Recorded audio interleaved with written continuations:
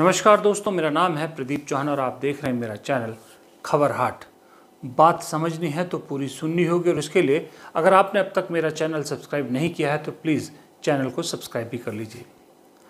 दोस्तों ये 16, 17, 18 सितंबर 2023 ये डेट्स याद रखना आप। ये डेट्स कई सालों तक इस देश के राजनीतिक इतिहास में बहुत महत्व रखने वाली है। अब आप कहेंगे कि ऐसा क्या हो रहा है इन डेट्स इन तीन डेट्स में कि इस देश का इतिहास इन्हें याद रखेगा?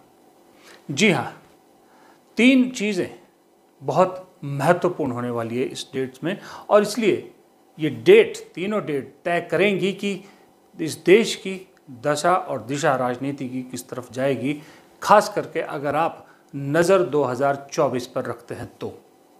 2024 का पूरा खाका इन तीन डेट्स में आपको खिंचता नज़र आएगा। ये 16, 17, 18 सितंबर 2023 क्यों इतने महत्वपूर्ण होने वाले हैं पहले इसी पे बात करते हैं।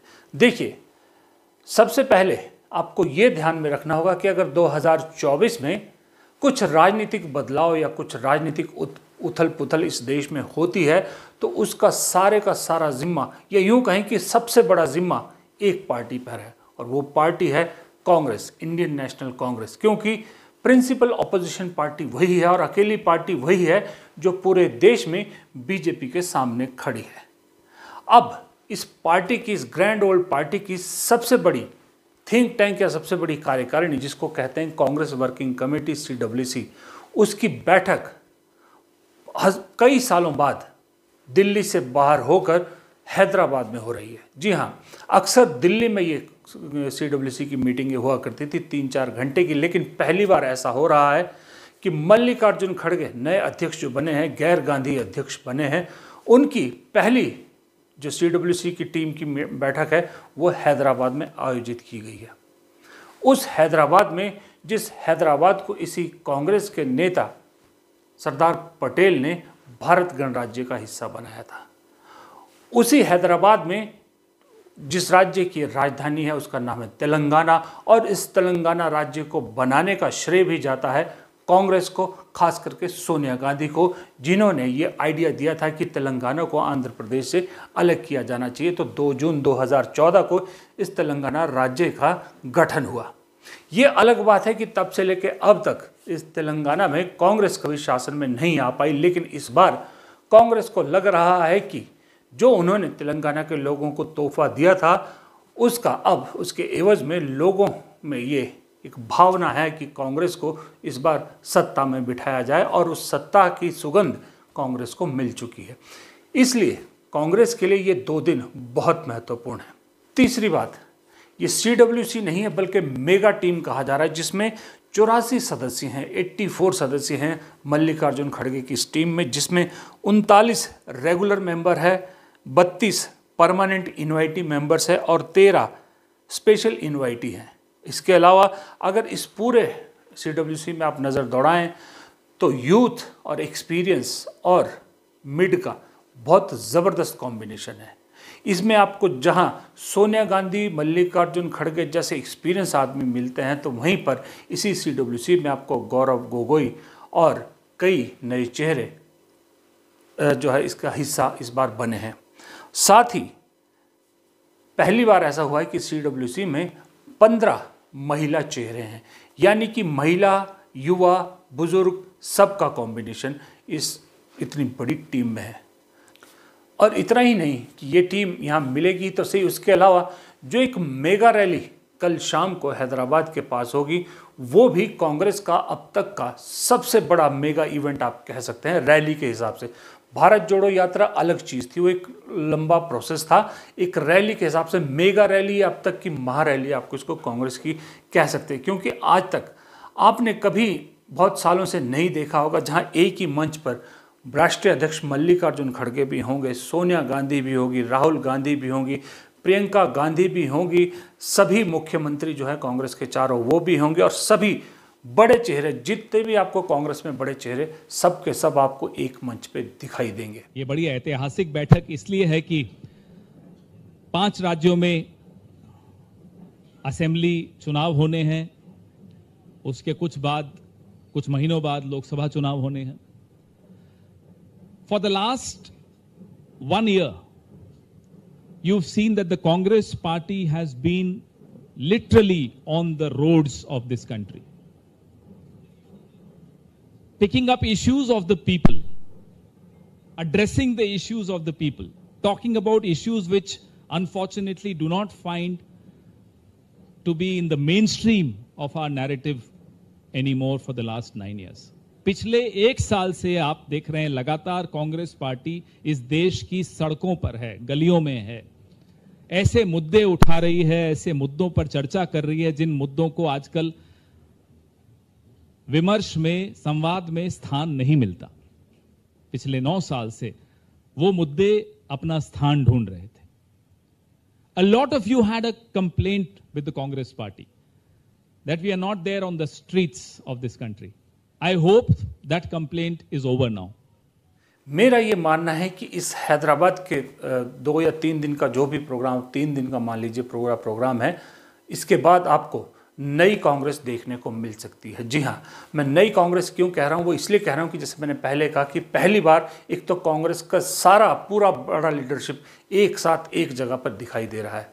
उसके अलावा बैठक और रैली के अलावा ये भी तय हुआ है कि जितने सांसद हैं वो तो दिल्ली लौट आएँगे, लेकिन बाकी जितने भी नेता हैं वो सोम, सोमवार को मंडे को तेलंगाना की सभी 119 विधानसभा सीटों पर जाकर डोर टू डोर कैंपेन करेंगे, कार्यकर्ताओं से मिलेंगे। यानी कि कांग्रेस ये तय करना चाहती है कि किसी भी हाल में अब तेलंगाना को नहीं छोड़ना है।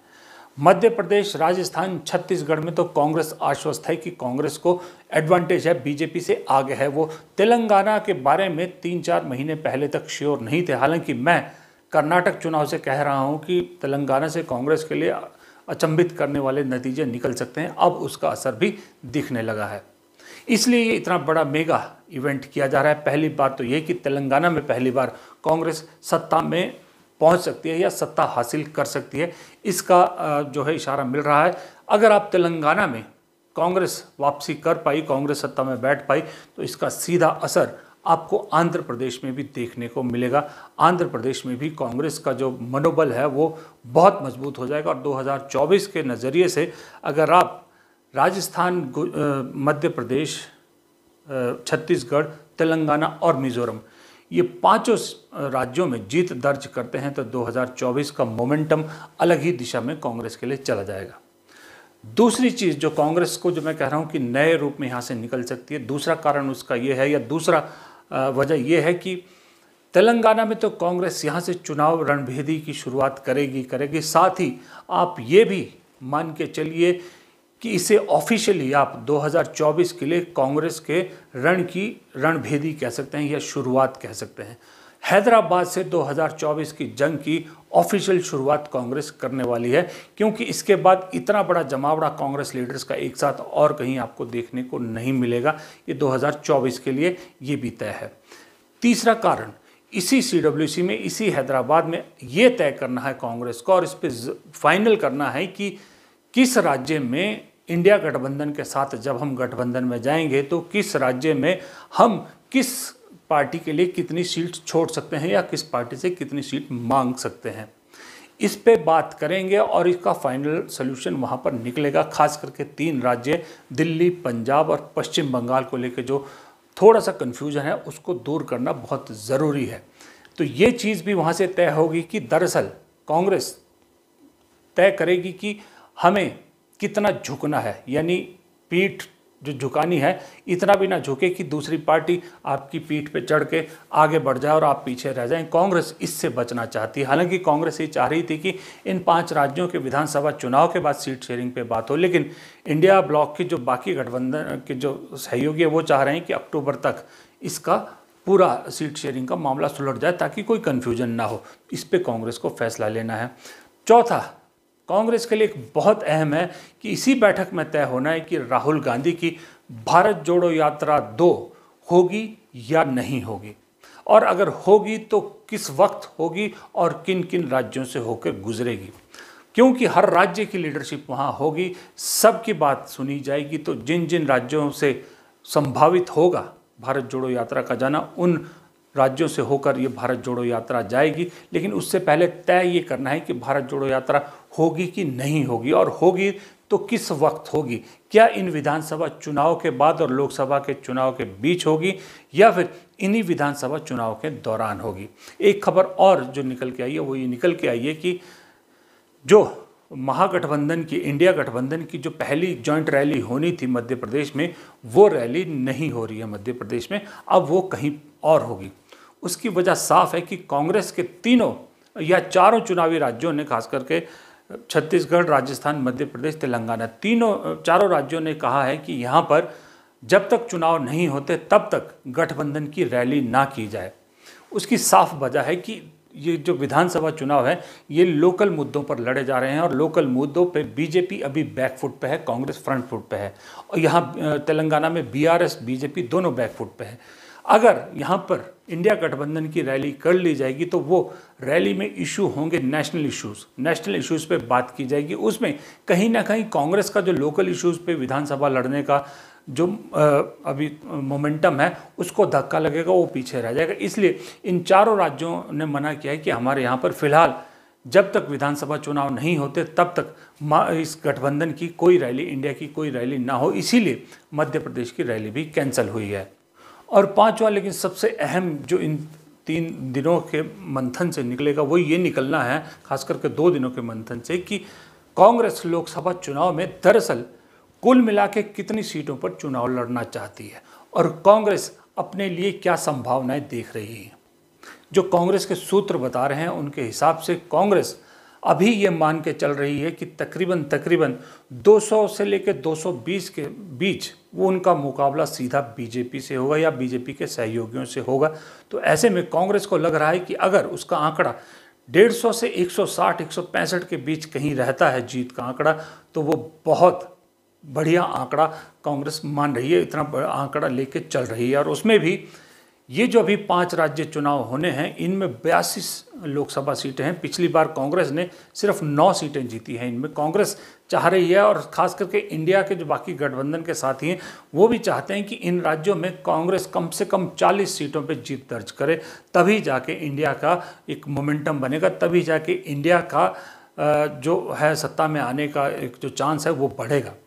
अब अगर इन राज्यों में छत्तीसगढ़, मध्य प्रदेश, राजस्थान, तेलंगाना इन राज्यों में अगर 40 सीट कांग्रेस जीत जाती है तो फिर आप उसमें जोड़ लीजिए कि कर्नाटक की सीट्स को जोड़ लीजिए, उसमें आप कुछ सीट, महाराष्ट्र की जोड़ लीजिए, साउथ से केरला की जोड़ लीजिए, फिर आप गठबंधन की जो है, तमिलनाडु और बिहार, उसको जोड़ लीजिए, कुछ कुछ दो चार, दो तीन सीट जितनी भी आप उत्तर प्रदेश की जोड़ लीजिए, फिर आप पंजाब आइए, हरियाणा आइए, हिमाचल आइए, उत्तराखंड आइए, दिल्ली आइए, जब इन सबको जोड़ के अगर आप मिनिमम भी जोड़ के चलिए तो भी कांग्रेस का आंकड़ा 150 से 160 के बीच आराम से पहुँच जाता है और कांग्रेस इसी रणनीति पे काम करना चाहती है और इसी चीज़ को लेकर इस बैठक में चीज़ों को फाइनल करना है। तो ये कुछ चीज़ें हैं जो उस हिसाब से तय करेंगी कि 2024 में बीजेपी सत्ता में वापस लौटती है या सत्ता परिवर्तन होता है। इसलिए मैंने कहा कि ये 16 सत्रह तारीखें बहुत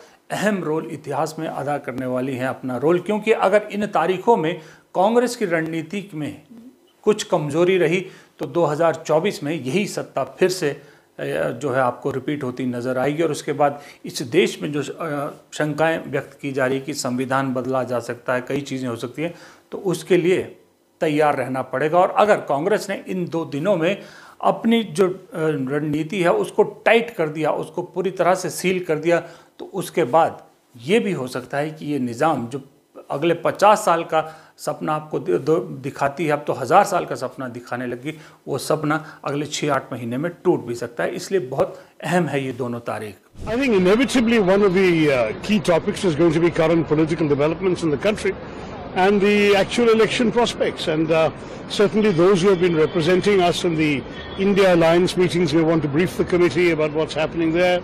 I think they will be very much uh, forward-looking focus. Um, I'm looking forward to a discussion on what lies ahead. Uh, we hope that the elections are in uh, the usual time, which is uh, six to nine months away.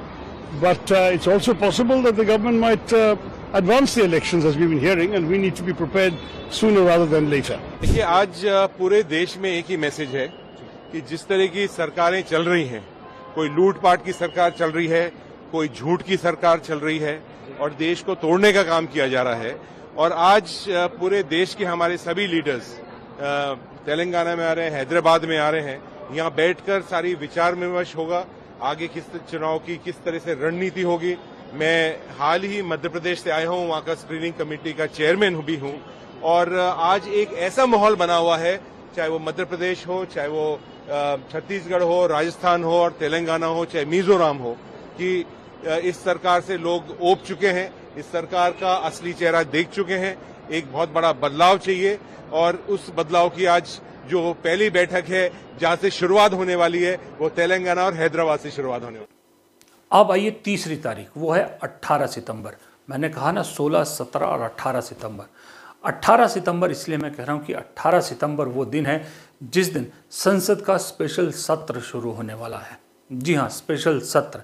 अब सरकार ने कहने को तो कई एजेंडे बता दिए हैं छोटे छोटे लेकिन अभी भी बैकडोर से कहीं ना कहीं सबको शक यही है कि ये सब हाथी के दांत दिखाने के हैं। दरअसल खाने के दांत कुछ और हैं।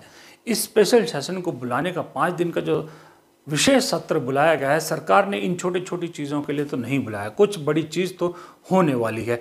इसलिए इसकी शुरुआत होगी 18 सितंबर को तो इसलिए मुझे लगता है ये 18 सितंबर का दिन भी 18 सितंबर 2023 का दिन भी भारत के इतिहास में खास करके राजनीतिक इतिहास में एक स्पेशल मुकाम हासिल करने वाला, स्पेशल दर्जा हासिल करने वाला है।